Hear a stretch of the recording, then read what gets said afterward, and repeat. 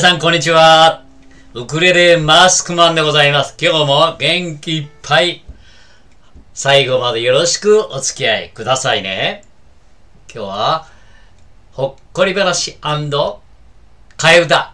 最初は、ほっこり話オンリーでいきますね。一発目。タイトル。こんな時に言うな。吉野家で牛丼食べながら、隣の彼女に大声で、好きやって言っちゃいけないよ。わかります？これ。考えてくださいね。次。タイトル。鬼太郎のお父さん。鬼太郎のお父さんって小さい頃から悪さは一切しなかったらしいな。なんで？悪さをすると大目玉を食らうって言われたから。はい。こんなことです。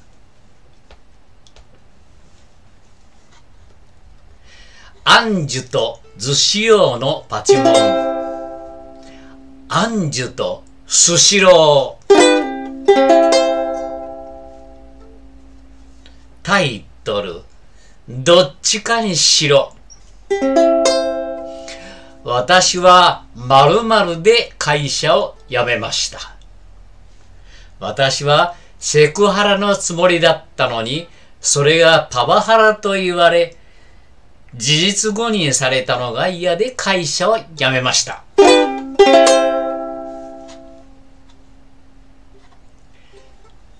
タイトルうまいこと。自動車の整備工たちが野球のチームを作りました。試合前に必ず彼らがすることは一体何でしょ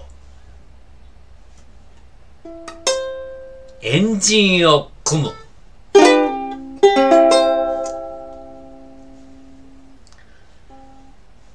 オードリー・ヘップパーンのローマの休日のパチモン。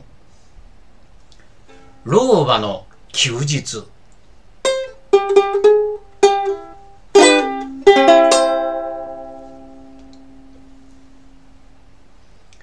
日常のネタ。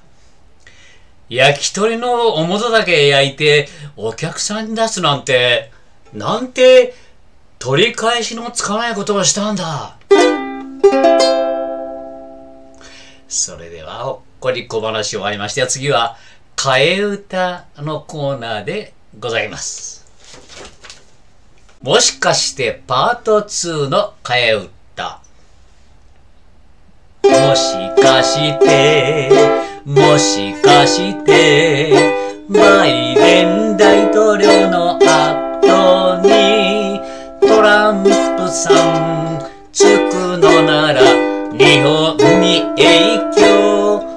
あるのかな。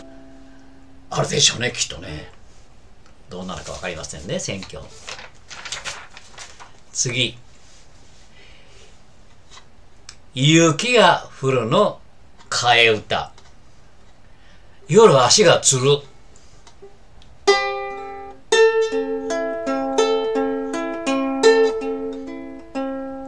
足がつる小村が帰る。足がつる寝ていて急に男のくせにあげる悲鳴一人の部屋。夜は更ける。ラララララ足がつると痛いんですよ。皆さん経験あります？夜寝ててね、急に来るんですよ。痛いのなんの？飛び上がりますよ。経験ない人幸せです。替え歌。あなた。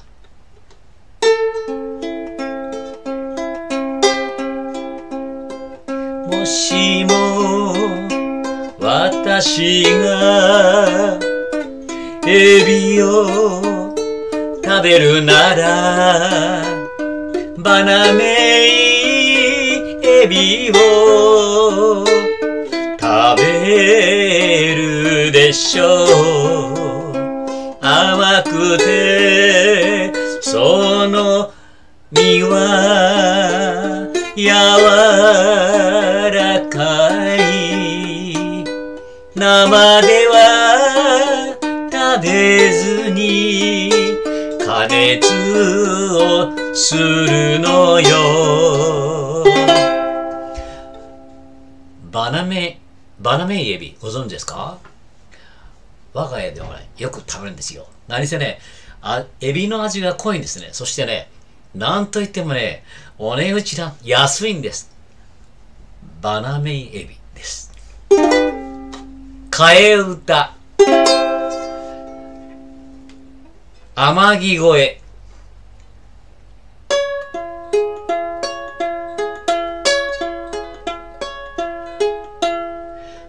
隠しきれないカレー臭いつしか私服に染みついた。困りますね。替え歌。ゾウさん。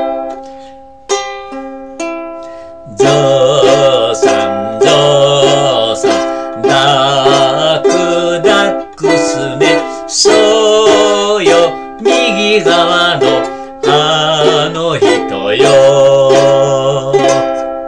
これわかります？わからない方もたくさんおるかもしれませんね。替え歌ロードトラブリューとんでもないようなこと。さらりとこなせる人も。こと体操に構える人もみんな人間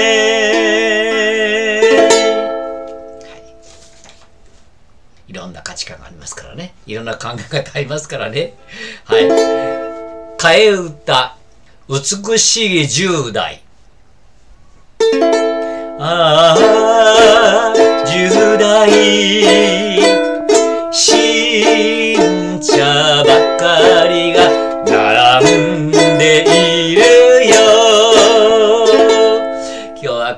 しまいでございます。また明日お会いいたしましょう。さようなら。さようなら。